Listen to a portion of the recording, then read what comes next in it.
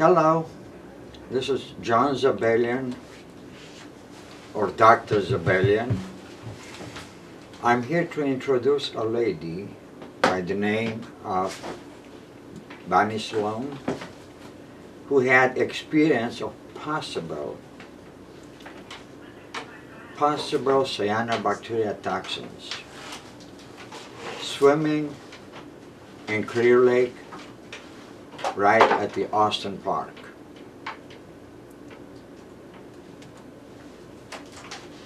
I do investigate another claim. And this claim is in Nice by another lady pretty much the same time, later part of July. Now, Bunny, would you please describe your symptoms or describe what happened? Yes. And the best, the best, you are on television right now. Yeah. The best you can remember. Okay, Would you please? I will. Thank you. On July 28, 1913, I went to church that morning 2013. and uh, I asked my families to come, let's go swimming. So we all gathered together. We went down to Austin Park. The kids had gone swimming first. It was so hot. I went down toward the water. I looked at the water. I stepped in the water, and it was so clear, so clear I could see the rocks. I thought it was a good water, you know. And I got in the water. I went halfway, and I dove in the water. I turned around, got up, stand up. I started getting dizzy. Before I stand up got dizzy, I uh, my grandson was right behind me, not too far from me. And he said, Grandma, what's the matter? And I said, Oh, nothing. And there was something wrong. I was throwing up in the water. I didn't want my grandson to see me throw up in the water. And he, he kept on asking me, What's the matter, Grandma? And I said, Nothing, nothing, nothing's wrong. At that moment, I stood up. I stand up and I started weaving back and forth a little bit. I felt like I couldn't even move my legs. I um, started getting dizzy. I started getting headaches. I finally got myself out of the water. I went toward uh, my blanket. I laid there and I started shaking. And uh, I looked toward the dog, my daughter's dog, and the dog was like staggering, like, you know, a drunk would stagger on the street. That's what my dog looked like. So I laid down, and after I was laying down, I started to shake, and my husband said, um, "You're freezing. I'm going to cover you up." And I and I couldn't even acknowledge what he was saying to me, but he put the blanket over me, and uh, I then I looked at him and I said, "I think I better go home." So we got the kids out of the water. They started patting their bodies with the towel. After they were patting the bodies with the towel, I seen some flesh coming off of their arms like with peeled skin. And I said, oh my God. So we all took off, went back up to the, um, well, first my daughter went and ran to the bathroom, got a bottle of water, poured over a dog, washed the dog down with uh, water from the restroom up at the park. Came back down, she washed it off, and sooner than that, that dog uh, started to walk around normal. Uh, after that, we all packed up, went home, and I thought, I'm going to get in that shower and see what happens. So I got in the shower, took a shower, came back out, went in my room, and before I knew it, I was at the edge of my bed, and I felt still shaking, and I was still getting sick, and I lost a lot of appetite of eating. I didn't even think of meat. I didn't think of anything that I liked to eat. I lost my appetite. Um, anyways, I felt like I was running a high fever, like I was burning up. And I couldn't understand why this would happen, why this happened to me, because I swim in that water for all my life. I live on Rattlesnake Island. We had a bunch of us, Jim Brown and all of us, that swim across the island to the mainland in Lake Oaks. And this never happened to me. So I'm figuring, what happened this time, you know? So I was scared. You know, uh, Native Americans, they don't pick themselves up and take them to a hospital or anything. They try to see what they could do for themselves. But I guess I couldn't take it too long, so I went to Lake County Tribal Health. and they did some questionnaires on me and sent me somewhere else to get tested. And um, as for my kids, what I did is I used the ointments on their arms and wrapped it around, and and they're gone. But uh, none of them uh, really got sick or anything, but they didn't like to eat either. You know, they didn't have an appetite to eat. Anything that we wanted, we couldn't eat it. So it was like, uh, I, I, at this today, I still don't have the appetite to eat that much. I, I used to be a big eater, but now I'm not. I, I'm kind of like uh, scared to, you're frightened because uh, back in the days, my grandson and them got sick of salmonella, and that's what I was scared of. And they got that out of Gertie's store. So I'm still watching and stuff, and I'm uh, rarely go down by the water anymore. I'm kind of scared to go down there now. Um, I don't know why, but I, I just don't want to go down there. And I try to tell the kids not to go near the water. I never seen no signs or anything up there. If I saw signs, I probably wouldn't have gone into water. But I didn't see no sign. It was at the far right of the Austin Park. Then I seen fish uh, laying there on the shoreline. And I'm thinking, oh, what's going on? You know, it just feels like another thing that's happening in Lake County, or what is it? So my thought is that I got to find out what's going on, and I got to find out uh, if anything else is left in my body, and go to do some testing. That's what I'm going to do, so I could be for sure. Can I interrupt? Yes, I you have can. a question. Uh, your case was later part of July, I understand. Yeah, Uh, July 28th or something like that. yeah, around the 28th. Yeah. Yeah. And you did go to a tribal clinic, Yes, I did. and they did not took the blood No. test. Instead, they gave you a forms to fill out. Yeah, they just gave me a form to fill out. See, this is one of the deficiency that doctors and hospitals does not understand that importance is to take a blood immediately. Preserve it. If you don't know exactly laboratory that specializes in cyanobacteria toxins test, this is not done by every doctor office or any clinic or a uh, or hospitals, but we do have places in the United States who are highly qualified to do the test. If you let this go for too long, then it will no longer show, it will be embedded to some extent into your liver and tissue but will no longer show in your blood. So what I'm asking is, please doctors, hospitals, clinic, the first thing, take a blood test. Preserve it and get in touch with me or other qualified people to direct you to the proper laboratory. Cyanotoxin is not easily identifiable in, in the blood. It requires a special laboratory test. After you, I believe you said that while you were at the uh, tribal clinic, and they provide you with the forms to fill out, Yes. what they have said to send that form to health department or do what? To the health department. Health department. Yeah. Did you had a chance to talk to Dr. Tait while you were at the clinic? No, I didn't. When was that Dr. Tait got hold of you? I don't remember the day that she uh, got a hold of me. At that time, when she tried to get a hold of me, I was in a, a clinic with my uh, grandson in Clear Lake. And at that time, I told her I was in the clinic with my grandson, and she said she was going to call me back. Did and I have- didn't call. I didn't have no call back. did she- so she didn't No. call you back? No.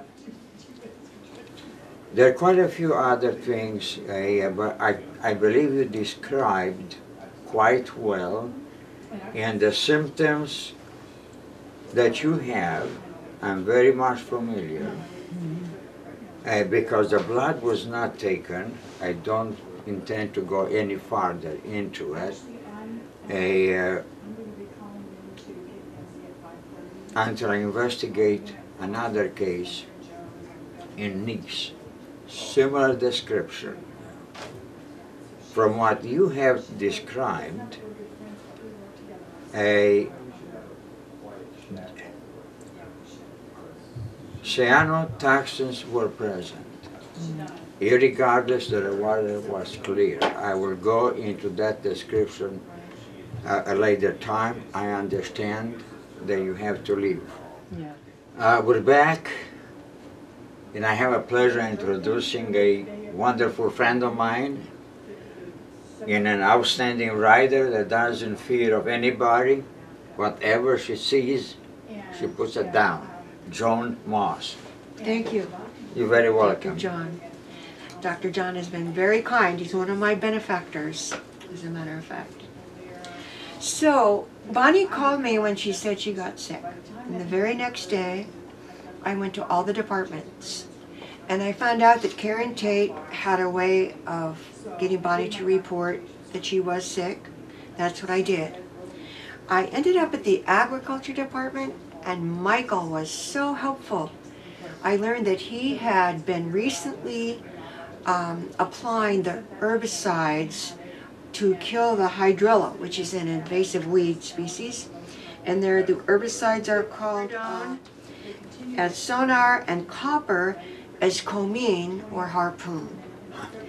And this is when I called Dr. Dr. Dr. Zebelean, and we had lunch together with Bonnie because if you put copper together with cyanobacteria or blue-green algae, it becomes toxic. And Dr. Zebelean had just gotten an article published in Laco magazine about one of these instances in Australia where at least 140 people got sick, according to the article. Well, I have a book by Tom Suchanek about Clear Lake. He studied it for 20 years. And then I have a, another book that Dr. Zebelean was kind enough to get me, um, give to me, which is Dr. Cecile Mioni. And so it wasn't the first time animals have gotten sick from the lake. There were staggering cats. And I pointed all this out. And to get down to the to the bare, min, bare minimum, I believe that the copper that was put in Austin Beach might have combined with, the- with the cyanobacteria that was already there. And the signs posted say that you can't, you shouldn't swim in the lake if there's algae mats or pea green soup. But what Dr. Zebelean told me is that there can be cyanobacteria and toxins in the water without the green mats and the green pea soup. So what I'm what I'm saying is that Michael gave me the materials about the uh, herbicide, and I printed those in my water column. And I'm going to continue my research. I'm sure Terry will continue her research. Betsy Kahn will continue her research. And the more people that work on this, the better, because um, it's been very hard to get someone to actually report being sick. And Bonnie did report this. She followed the rules. And now what happens next? Thank you. The number 140 is incorrect. So I guess I make mistakes once in a while. The number in Palm, Palm Island case in Australia, it was 400 people. And some were in the hospital for as long as a month. Mostly were children. It is very well known that cyanobacteria mats, you never spray them with copper sulfide or any form of copper. Copper by nature is seriously very toxic unless is in a solid stage. And I so. I may go back and and, and correct the, uh, my mistake of 140 to reflect 400, and they the exact title is, I, I believe we have Page written down. seven of the article that was in Lako magazine, there was that one paragraph about Palm Island. In Dr. Zebelean's article that he gave me. Uh, yeah, would you read the, uh, the entire title of my article? Okay, factual Correctly. information on Clear Lake water problem. That was Dr. Zebelean's article that was in Lako magazine, published in, in the magazine. And Dr. Zebelean sent this to all the, a lot of state agencies. You didn't send it just to Lako magazine. No, that article I released as an article. In reality, it was an email sent to many of the state agency in 2009 trying to give them some education. I knew that they are very poorly knowledgeable in the field of cyanobacteria.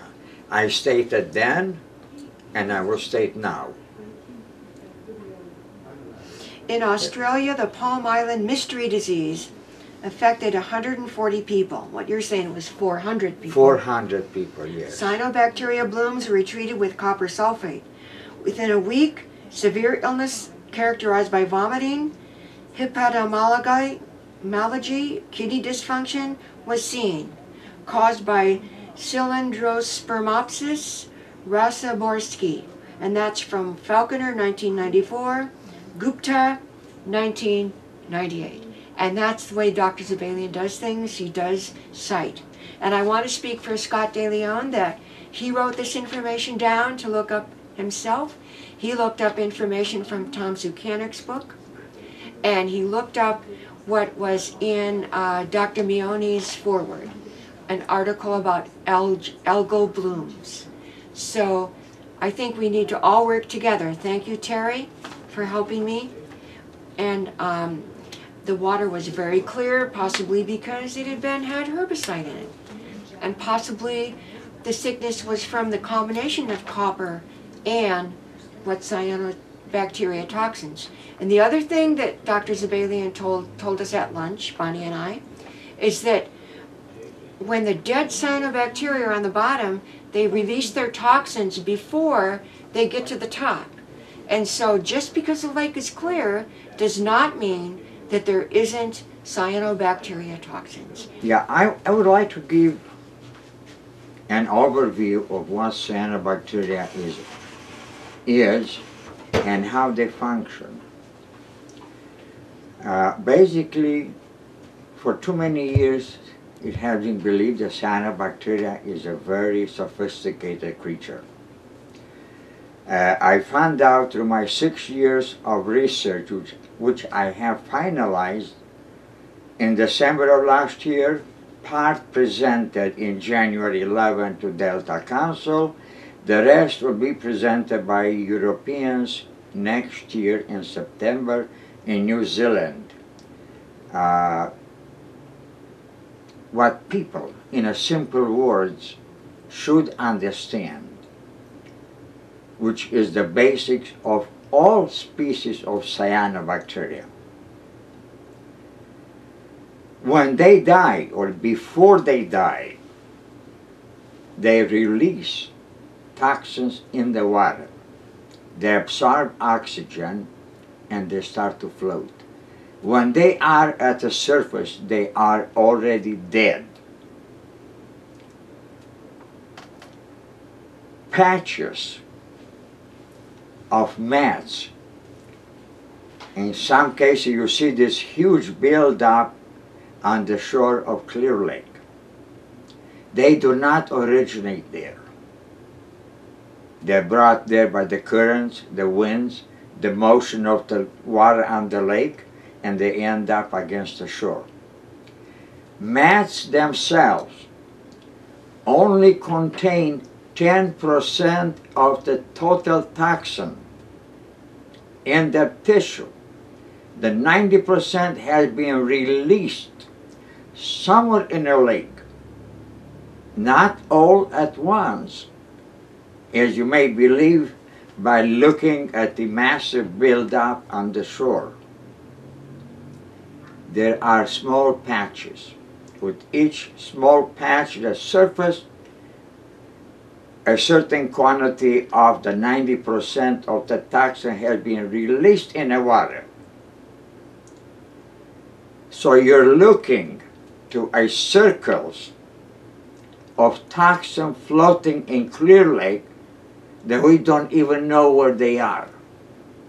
Some of them may have been pushed against the shores, mostly are floating into the lake. Simply by not seeing any buildup of mass, it does not mean that it's safe. You may have in one spot a buildup of heavy, heavy load of toxins. 50 yards, 100 yards on the right of it or on the left may not be any toxin. We don't know really how fast toxins disperses in the water or it stays localized as it has been released. So it is possible that there are safe places to swim and there is possible that some places may not be safe to swim and we don't know. Because the analogy what has been told to the public in Lake County is stay away if you see mass build up stay away. That doesn't mean that a lake is safe. It is I'm not trying to say that it's not safe either. This is something for the health department to determine they will be responsible here is a case we just had a lady describing. There was nothing. The water was clear yet she got sick. It's a combination Oh, I'm gonna watch it now, that with that one.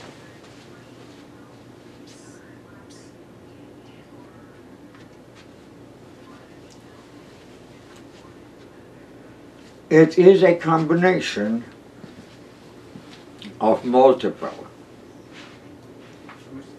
Early part of july I got an information that three small aluminum boats in Clear Lake along the shore of the lake in Clear Lake they were dispersing granules at night very peculiar three small boats with tanks loaded on their boats were dispersing granules at night. I assume that they are dispersing for the uh, for the algae, aquatic plants. Uh, why at night is questionable.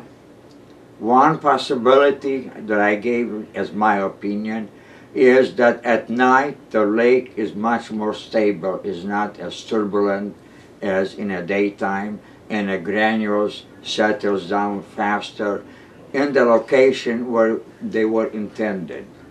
That's the only thing that I can say about. If those granules contain any copper sulfide in it, any small amount of copper sulfide in it, they should have known Lake County should have known that you never ever use a copper sulfide at the time when the season or the blossom of cyanobacteria is in this lake.